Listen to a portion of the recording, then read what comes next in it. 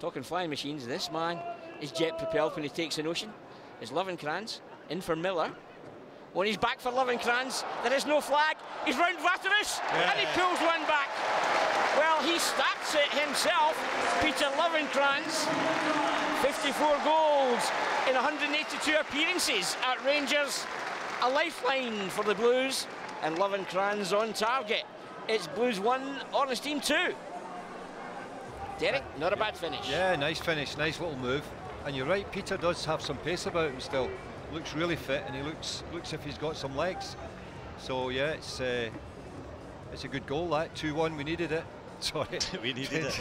yeah, so I'm seeing I'm the gonna- blue. I'm I'm, gonna seeing the. Rangers in blue. Wasn't a bad lay off from Charlie Miller, the good reverse it ball. was. It was. Just took the defenders out.